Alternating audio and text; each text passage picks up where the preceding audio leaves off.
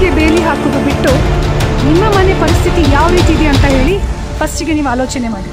ಇತ್ತೀಚೆಗೆಷ್ಟೇ ಕೂಳೂರಲ್ಲಿ ಒಂದು ದೇವಸ್ಥಾನವನ್ನು ಡಿಸ್ಟ್ರಾಯ್ ಮಾಡಿದರು. ಆವಾಗ ಈ ಹಿಂದುತ್ವದ ಡೋಂಗಿ ಕಾರ್ಯಕರ್ತರು ಯಾರಿದ್ದಾರೆ ಎಲ್ಲಿದ್ದರು ಅಂತ ನಾನು ಕೇಳಲಿಕ್ಕೆ ಇಚ್ಛಿಸ್ತೇನೆ. ನಮಸ್ಕಾರ, ನಾನು ಪ್ರತಿಭಾ ಕುಳಾಯಿ. ಇತ್ತೀಚೆಗೆಷ್ಟೇ ಮತ್ತೊಮ್ಮೆ ಸಂಘಟನೆಗಳ ಹೆಸರು ಹೇಳಿ ವಿದ್ಯಾರ್ಥಿಗಳ ಮೇಲೆ ಮತ್ತೊಮ್ಮೆ ಹಲ್ಲೆ ಆಗಿದೆ ಮಂಗಳೂರಲ್ಲಿ. ನನಗೆ ತಿಳಿದ ಮಟ್ಟಿಗೆ ಯಾವುದೇ ಧರ್ಮವಾಗಿರಲಿ ಯಾವುದೇ ಸಂಘಟನೆ ಆಗಿರಲಿ, ತನ್ನ ತನ್ನ ಧರ್ಮದ ರಕ್ಷಣೆಗೆ ಬೇಕಾಗಿರುವಂಥದ್ದು. ಆದರೆ, ಪ್ರತಿ ಸಲ ನಾವು ನೋಡ್ತಾ ಇದ್ದೇವೆ, ಹೆಣ್ಣು ಮಕ್ಕಳ ಮೇಲೆ ದೌರ್ಜನ್ಯಗಳನ್ನು ಮಾಡ್ತಾರೆ, ಹೊಡಿತಾರೆ, ಬಡಿತಾರೆ. ಅದು ದಕ್ಷಿಣ ಕನ್ನಡದಂಥ ವಿದ್ಯಾವಂತ ಜಿಲ್ಲೆಯಲ್ಲಿ ಇಂಥದ್ದು ಕೃತ್ಯಗಳು ಆಗೋದು ತುಂಬ ಬೇಸರ ಉಂಟಾಗ್ತಾ ಇದೆ. ಇವತ್ತು ಯಾರದೋ ಮಕ್ಕಳಿಗೆ ಈ ಪರಿಸ್ಥಿತಿ ಬಂದಿದೆ, ನಾಳೆ ನಮ್ಮ ಮಕ್ಕಳಿಗೂ ಇದೇ ಪರಿಸ್ಥಿತಿ ಬರ್ತದೆ.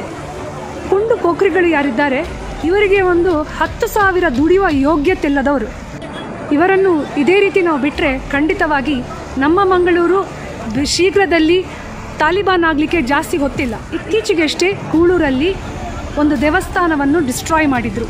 ಆವಾಗ ಈ ಹಿಂದುತ್ವದ ಡೋಂಗಿ ಕಾರ್ಯಕರ್ತರು ಯಾರಿದ್ದಾರೆ ಎಲ್ಲಿದ್ದರು ಅಂತ ನಾನು ಕೇಳಲಿಕ್ಕೆ ಇಚ್ಛಿಸ್ತೇನೆ. ನಿಮಗೆ ನಿಮ್ಮ ಧರ್ಮಕ್ಕೆ ಏನಾದರೂ ಒಂದು ಕೊಡುಗೆ ಕೊಡಬೇಕು ಅಂತಾದರೆ, ನಿಮ್ಮ ನಿಮ್ಮ ಧರ್ಮದ ಹತ್ತು ಹೆಣ್ಣು ಮಕ್ಕಳಿಗೆ, ಜಾಸ್ತಿ ಬೇಡ.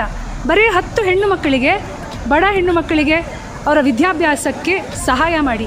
ಹತ್ತು ಬಡ ಕುಟುಂಬಕ್ಕೆ ಯಾರು ಅನೋ ಅನಾರೋಗ್ಯ ಆಗಿದ್ದಾರೆ ಅವ್ರಿಗೆ ಸಹಾಯ ಕೊಡಿ. ಅಥವಾ ಎಷ್ಟೋ ಜನ ನಮ್ಮ ನಮ್ಮ ಧರ್ಮಗಳಲ್ಲಿ ನಾವು ನೋಡ್ತೇವೆ, ಮದುವೆ ಆಗದೆ ಇದ್ದಾರೆ. ಇಂಥ ಬಡ ಹೆಣ್ಣು ಮಕ್ಕಳಿಗೆ ಮದುವೆ ಮಾಡಿಸ್ಲಿಕ್ಕೆ ಸಹಾಯ ಕೊಡಿ. ಇದು ನಿಮ್ಮ ಧರ್ಮಕ್ಕೆ ಕೊಡುವಂಥ ಕೊಡುಗೆ ನೀವು. ನಿಮ್ಮ ಈ ಹುಚ್ಚುತನ ಏನಿದೆ? ದಾರಿಯಲ್ಲಿ ಹೋಗ್ತಾ ಬರ್ತಾ ಹೆಣ್ಣು ಮಕ್ಕಳ ಮೇಲೆ ಕೈ ಮಾಡುವಂಥದ್ದು ಏನಿದೆ? ಇಷ್ಟರವರೆಗೆ ನಾವು ತುಂಬ ಸಹಿಸ್ಕೊಂಡಿದ್ದೇವೆ. ಇನ್ನು ಮುಂದಕ್ಕೆ ಖಂಡಿತವಾಗಿ ನಾವು ಯಾರು ಸಹಿಸ್ಕೊಳ್ಳೋದಿಲ್ಲ ಸಂಘಟನೆ ಹೆಸರೆಯಲ್ಲಿ ನೀವು ಇಷ್ಟೊಂದು ಹಾರಾಡ್ತೀರಲ್ಲ? ನಾಳೆ ನೀವು ಜೈಲಲ್ಲಿ ಕೊಳಿತಾ ಇರುವಾಗ ಖಂಡಿತವಾಗಿ ಯಾರೂ ನಿಮ್ಮ ಸಹಾಯಕ್ಕೆ ಬರುವುದಿಲ್ಲ. ಊರಿಗೆ ಬೇಲಿ ಹಾಕೋದು ಬಿಟ್ಟು ನಿಮ್ಮ ಮನೆ ಪರಿಸ್ಥಿತಿ ಯಾವ ರೀತಿ ಇದೆ ಅಂತ ಹೇಳಿ ಫಸ್ಟಿಗೆ ನೀವು ಆಲೋಚನೆ ಮಾಡಿ.